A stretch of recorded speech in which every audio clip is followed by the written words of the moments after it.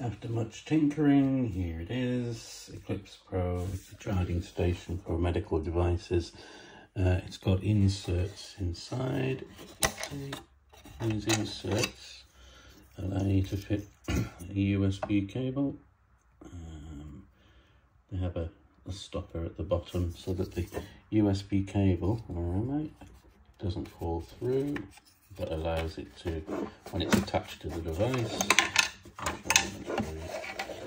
to, to come up and then be disconnected. There we go, and that just slots into, it's very difficult, uh, slots into the slot there, there we go, the slot there with the device attached, and uh, yeah, this back panel comes off to allow easy insertion of cables and things, and uh, yeah, and obviously this top comes off as well,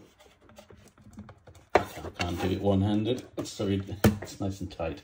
Uh, but yeah, uh, there you go. That, that was the final design. Um, thanks for watching.